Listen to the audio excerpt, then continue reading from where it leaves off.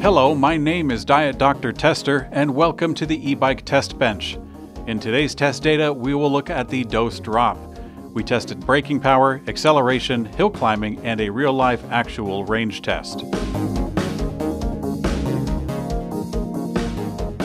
The Dost Drop is a comfort commuter with utility and performance a main focus.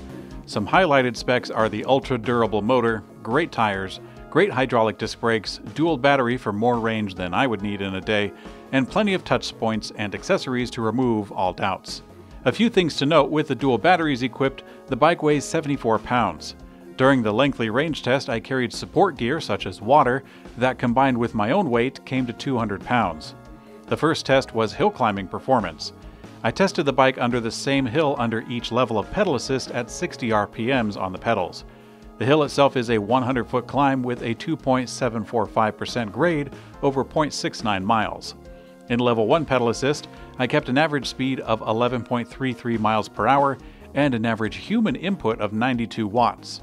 In level 2 pedal assist, the average speed was 14.61 miles per hour and human input averaged 69 watts.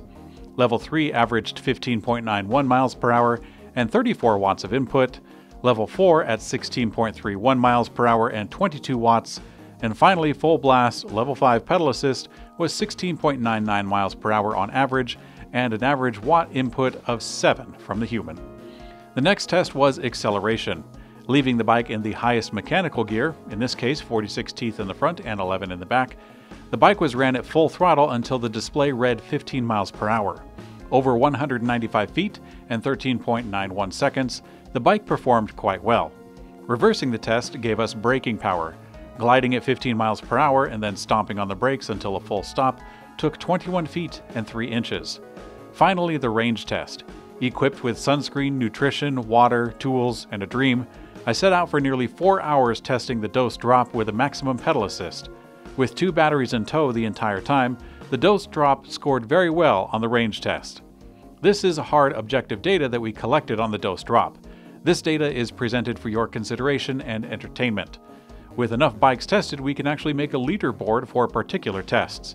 Let's move on to the subjective score.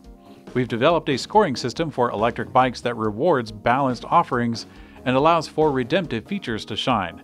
Similar to grade school, the system is scaled so that most bikes will score around 75 points. The grading scale caps at 100 points, with redemption points making a total of 120, although no bike should ever achieve that. For example, a nimble lightweight bike can score high in the ease of use category, but very poorly in utility. Moving on.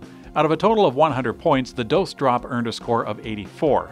With bonus points in play, the Dost Drop came to 92 points total of the letter A. With your help, we can test more bikes in this manner and perhaps expand the series. Please input your input in the provided space on the video site, and your comments will be processed for future consideration. Thanks for watching eBike Test Bench.